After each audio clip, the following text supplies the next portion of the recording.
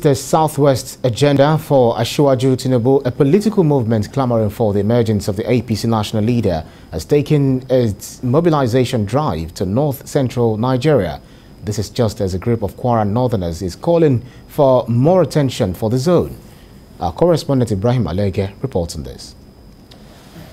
They are gathered in this hall for one purpose, to propagate the ambition of the APC national leader, Asiwaju Bola Ahmed Tinubu, to become Nigeria's president. The Southwest agenda for Asiwaju was established in the Southwest, but it is quickly spreading its tentacles to all parts of the country, including the North Central. We use Kwara because we are going state by state. We have done this in Niger State. We will be doing this in uh, Kogi State on the 19th of this month. So now we are doing uh, uh, Kwara State. So we have all the states I've mentioned represented here. They believe that Asiwaju Tinubu has all it takes to take Nigeria to the next level.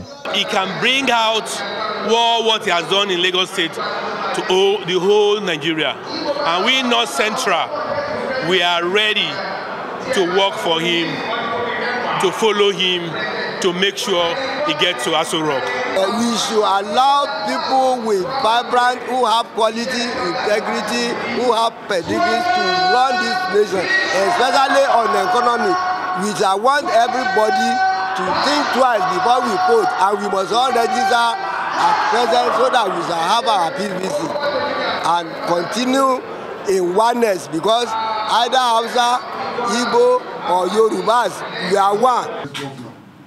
Elsewhere, these youths under the umbrella of Kwara North Development Council are seeking for a partnership that will further attract more infrastructural development to the region.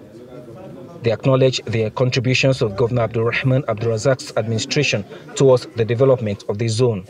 It is no longer news that our zone is getting the desired attention under the government and the leadership of Governor Abdulrahman Abdulrazak towards bridging the gaps of our infrastructural deficit.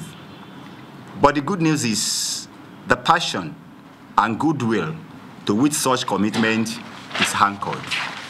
Unlike what it used to be, they believe that Kwara North is gradually attracting the attention of government, but just like Oliver Twist, they still want more.